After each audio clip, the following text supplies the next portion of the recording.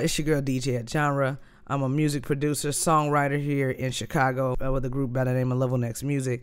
And I'm just coming for a real quick video on how to make sure that sounds.com is integrating with your native instruments applications. I had a little bit of trouble with this, so I just want to make sure that folks are able to get this hooked up because it, it, should be a super cool thing. So uh, the first thing that you need to do is open up Native Access. So I'm going to open that up and mine is set to automatically sign in so it signs me in automatically. Um, go to your available updates and you will see an update for whatever products you have. Um, it works with Maschine and Komplete Kontrol. If you have both Maschine and Komplete Kontrol uh, make sure that you update both of those and what I like to do after I update them is to go ahead and open them just so that the update takes into effect and then I make sure it, updated everything that it needed to update and I know for sure that that the app is updated.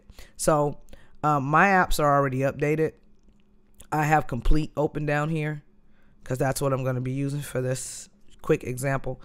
And you need to make sure that your ID, your native ID, is the same ID that you use to sign into sounds.com. That was an issue that I have. I was using another ID for my sounds.com account, but you have to be using the same. It needs to be your native ID. So now that I've got that, I am going to X out of native access and I'm going to open up my web browser. I'm using Google Chrome. I'm going to go to sounds.com.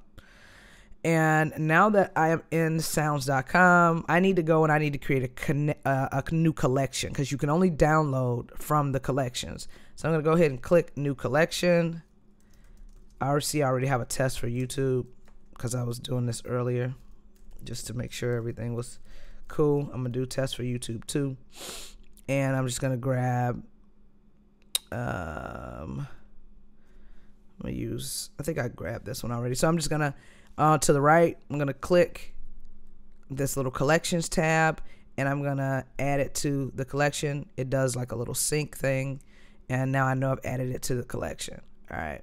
So now that I'm done with that, I'm gonna go over to the left, click on the collection that I updated or and there's the collection. So I need to make sure also one quick thing. I need to go make sure that I have this setting enabled. So in the top right corner, I'm gonna click on my name, click on account.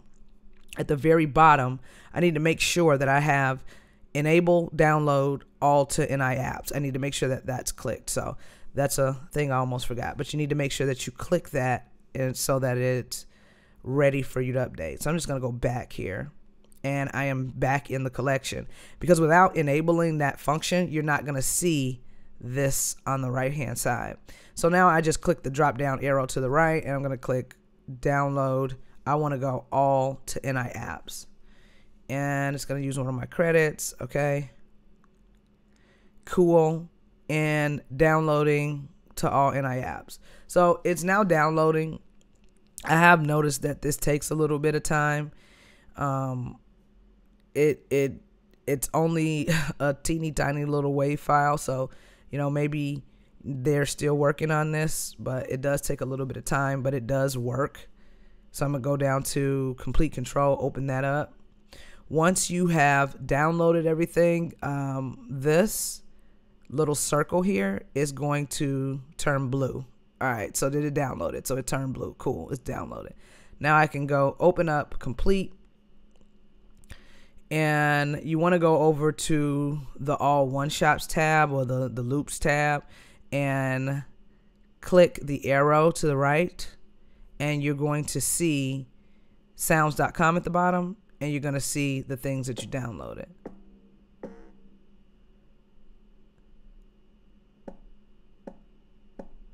All right so i downloaded a couple of things earlier.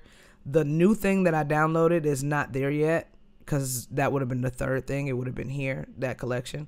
So it's downloaded through Sounds, and it's showing that it downloaded through Sounds, but it hasn't showed up in Komplete yet.